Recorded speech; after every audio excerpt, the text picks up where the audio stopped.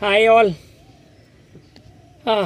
it's been a while आपसे कितना time हो गया मुझे बात किए हुए? Last time when I spoke it was October 2019 almost आने वाला है, दो महीने, तीन महीने में, दो महीने में आ जाएगा. बट टाइम भी हो गया और देखा जाए तो दस महीने कुछ होते भी नहीं है, पंख लगा के उड़ गए इतनी लंबी ज़िंदगी के अंदर में. पर वैसे अगर देखा जाए तो इस दस महीने में कितना कुछ बदल गया. एक वक्त कहते हैं ना कि जैसे पहले हम पढ़ते थे बचपन में, ईसा के पहले और ईसा के बाद। अभी क्या बोलेंगे, वो वक्त क्या था? वो कोरोना के पहले था और अभी कोरोना के साथ, अभी कोरोना के बाद भी नहीं है। अभी तो बात क्या होने वाला है, ये पता होने वाला है। क्या होगा, क्या नहीं होगा, कुछ पता नहीं। बहुत दिन से मैं सोच रहा था कि I should talk to you guys बहुत दिल करता था, बहुत मन में इच्छा होती थी कई बार, पर फिर नहीं हो पाता था। बट आज मैं बहुत दिन के बाद वापस से अपनी कार में बैठा हूँ। वहीं बैठा हूँ, जहाँ बैठ के पिछली बार आपसे बात कर रहा था। पिछली बार सी वाली थी, अब की मैं इधर बैठा हूँ। अपने घर के नीचे एक लॉन है, बहुत बड़ा ग्राउंड है, उसके पास में जहाँ मैं गाड़ी पार्क करता हूँ। और वहीं पे बैठ करके आज इस थॉट किया आज आप लोगों से बात की जाए। कुछ दिल की अपनी कहता हूँ, कुछ आपकी ओबियसली आप कहोगे, सुना तो नहीं पाओगे but I can understand and I can relate बहुत कुछ देखा पिछले चार, साढ़े चार महीने में। इनफैक्ट जब ये खबर आई कि चीज़ें बदलने वाली हैं, और पंद्रह मार्च को हमारा एक सेमिनार था, जेसी गेस्ट हाउस में ऑलरेडी उसकी बुकिंग थी। होली पे मैं अपने घर में था। जब होली पे गए थे, तब तक सब कुछ ठीक था। इवन होली पे लौट के आने हैं। हालाँकि गवर्नमेंट ने पीएमओ ने सोशल डिस्टेंसिंग की बात शुरू कर दी थी रिस्ट्रिक्शंस लगने शुरू हुए थे बट सब उसको लाइटली ले रहे थे। इवन हम भी ले रहे थे। ठीक है, कह रहे हैं। इनका तो काम है। और जब हमने जेसी गेस्ट हाउस में अपना प्रिव्यू किया तो वहाँ उस दिन रंग भी खेला गया। खूब मस्ती करी सबने। गले मिले, गुजिया खाई, मिठाइयाँ खाई। और उसके बाद से जो कहानी बदलनी शुरू हुई तो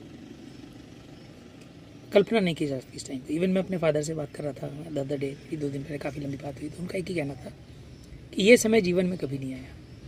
कभी नहीं आया। मैं I am forty nine age of now running fifty कभी नहीं देखा ये समय। बहुत से दौर देखे, बहुत कुछ आया, बहुत कुछ गया। ये वक्त कभी नहीं आया। परमेश्वर से यही दुआ करेंगे कि जल्दी निकल जाए और ये फिर कभी नहीं आए। ऐसा समय तो कभी नहीं आए।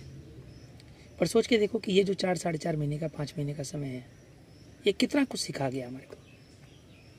आज मैं सुबह बात कर रहा था, हमारा जो मीडिया डिस्कशन का प्रोग्राम होता है, उसमें हम सब इकट्ठा होते हैं बिज़नेस पार्टनर्स और बात करते हैं।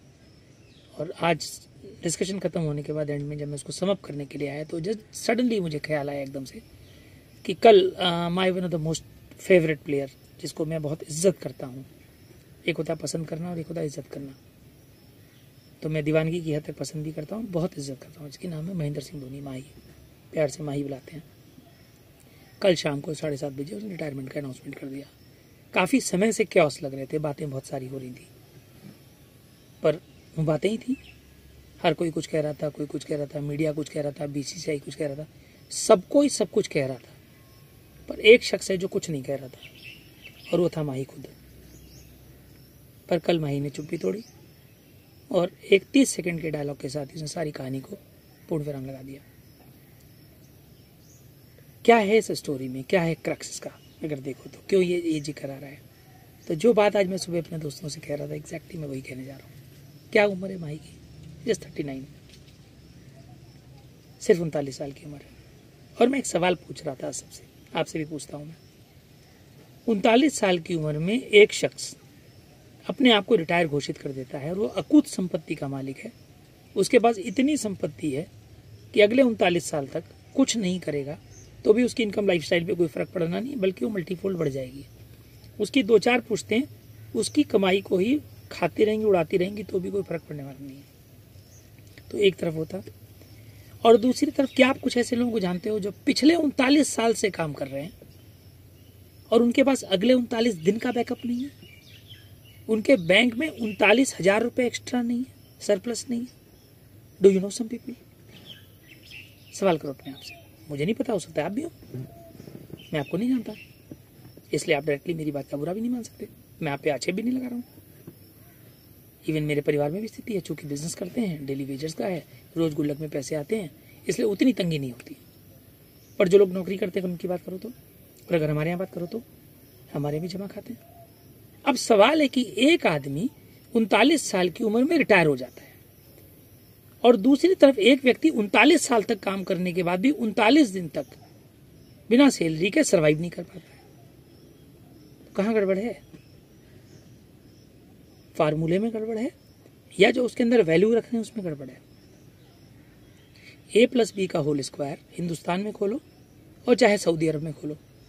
अगर दोनों में वैल्यू सेम रख दी जाए तो रिज़ल्ट सेम आएगा कि नहीं आएगा? यहाँ पर बात समझने की ये है। तो प्रॉब्लम कहाँ है? सिद्धांत तो एक ही पढ़ा था। फार्मूला तो सेम पढ़ करके आए थे। एजुकेशन तो सेम थी। तो फिर गलती कहाँ हो गई? गलती हो गई सिद्धांत को समझने में और फार्मूले को अप्लाई करने में। तीन परसेंट लोग हैं दुनिया में जो कि स्किल की और टैलेंट की खाते हैं। स्किल को एक्सट्रीम उस लेवल पर ले जाते हैं कि वो अलामा हो जाते हैं। कुदरती टैलेंट होता है। कुदरत ने कुछ ऐसा दे दिया। ऐसी आवाज़ लेके, ऐसा कंठ लेकर के, ऐसा टैलेंट लेकर के पैदा हो गए। तेंदुलकर के ब्रेन का साइज़ थोड़ा बड़ा था। वो बॉल को जल्दी रीड कर लेता था। वो जो एक्स्ट्रा सेकंड का उसको एडवांटेज मिलता था, उसकी वजह से उसने पता नहीं कितने कीर्तिमान बना दिए। माइकल फेल्प्स के पंजे बड़े थे। इससे वो तैरता था तो उसको पानी को कवर करने में एडवांटेज हो जाता था। उसेन बोल्ट की टांगे लंबी थी। इसी से वो ट्रैक पर दौड़ता था तो उसको एक्स्ट्रा एडवांटेज मिल जाता था।